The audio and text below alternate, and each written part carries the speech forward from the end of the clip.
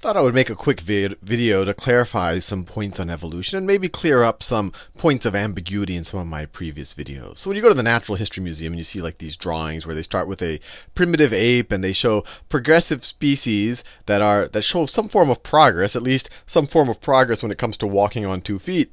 You kind of uh, you know it culminates with Homo sapiens sapien us you imagine that evolution is kind of this this this process that creates better and better things. You imagine that there's this notion of progress that as time goes on, each each successive species is better than its first.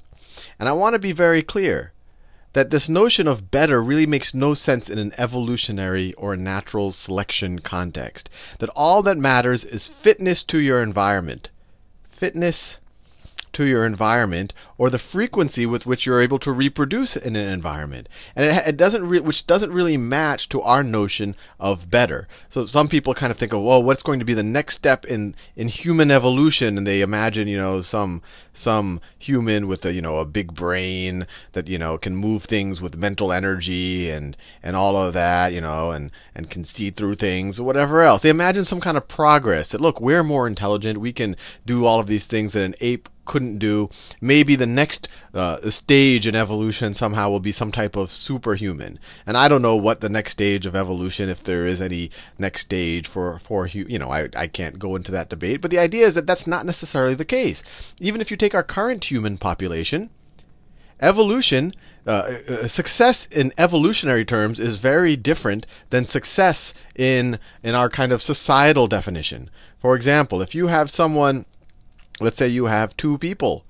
You know, this guy, some dude here, uh, he's got a he's got a PhD. You know, he's got an MD. He's got a lot of money. I mean, just, you know, everything that society says success, but because he did his MD, PhD, he's been in school a long time, and he decides not to have children, or he wants to be very responsible. He looks at how many people there are in the world and the overcrowding and the environmental impact. So let's say him and his wife, who is also an MD, PhD, and has all this money and degrees and have spent their, a lot of their time in, in school, they decide to have one child. One child. Let me see, this is his wife who has kind of similarly, she's similarly educated. And from our point of view, is a very successful, very responsible couple.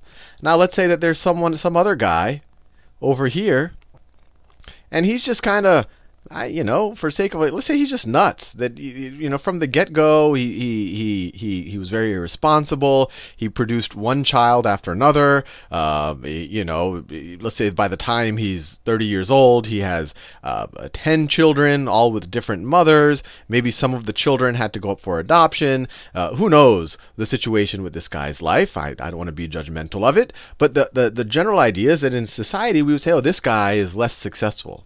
But from an evolutionary point of view, from an evolutionary point of view, this guy was far more successful. In fact, people like this guy, the frequency of their genes is increasing much faster than the frequency of these people's genes.